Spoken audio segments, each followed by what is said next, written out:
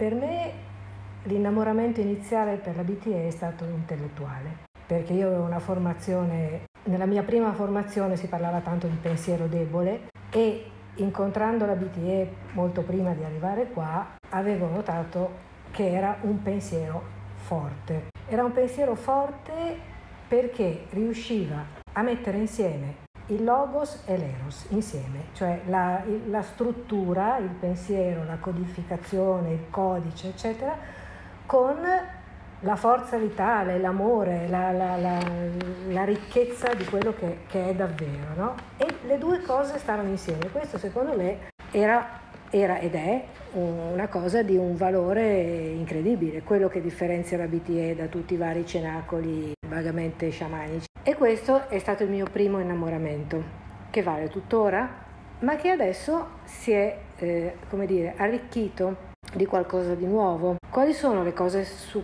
sulle quali forse io posso dire che adesso sono in cammino in maniera forte per cui con la BTE sono lì? Vabbè, intanto c'è l'accesso al transpersonale, che è una cosa per niente ovvia per me, anche per molti di noi che siamo, che siamo stati elevati nella tradizione razionalista, insomma, l'accesso a questo serbatoio di informazioni che non sono solo sensazioni, non sono solo la tua sensazione, ma anche davvero l'informazione che a un certo punto ti arriva da qualche parte e, ed ha un contenuto conoscitivo e però non, è, non viene dai dati di fatto reali. Questo per me è una scoperta quotidiana ma anche un terreno di una difficoltà e di una, di una fascinazione incredibile e questo secondo me è una delle ricchezze della BTE. E, e poi l'altra cosa di dove sono io oggi con la BTE è la scelta, cosa che prima non c'era perché prima ero in uno stato di osservazione. Oggi c'è la scelta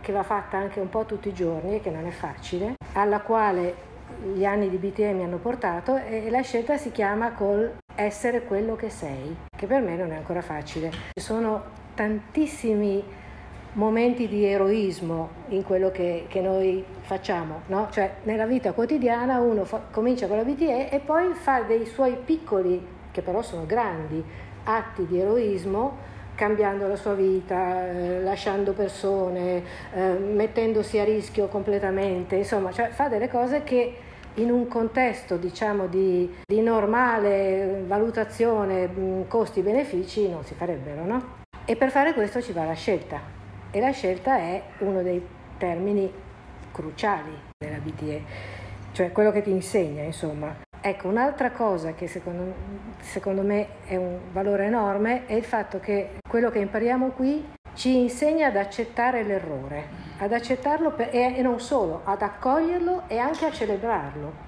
perché comunque è, è, la forza vitale che passa di lì e, il percorso, insomma, tutte le ragioni per cui lo si fa. E questo consente di acquisire un livello di verità superiore, perché ti consente di integrare l'ombra, di vedere i tuoi limiti, di guardare l'altro con uno sguardo diverso. Nel momento in cui cambia così tanto lo sguardo, tu non sei più la stessa persona. Però la scelta va rinnovata ad ogni, ad ogni istante, ad ogni bivio, cioè ce ne sono centomila di bivi anche nella giornata quotidiana in cui tu devi scegliere di essere ciò che sei, di ricordarti ciò che sei, di lasciare perdere determinate abitudini di pensiero. Di...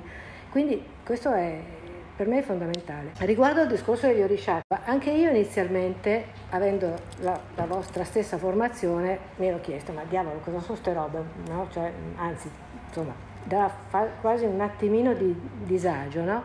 E anche io avevo pensato, ma se dobbiamo parlare di archetipi, perché non lavoriamo con gli archetipi classici che ci sono, no? eccetera. Però negli anni ho capito che tutta, tutto il mondo archetipico dell'Occidente, quello dell'Oriente non lo conosco, non, non posso dire nulla, però tutto quello dell'Occidente, il Pantheon classico, insomma gli dei della Grecia, o anche il dio dei cattolici, il dio degli ebrei, insomma, hanno una dimensione algida, cioè sono, non so, se dovessi dire direi che prevale l'elemento apollineo, quello, la giustizia, il sole, le cose, le cose eh, viste nella loro trasparenza.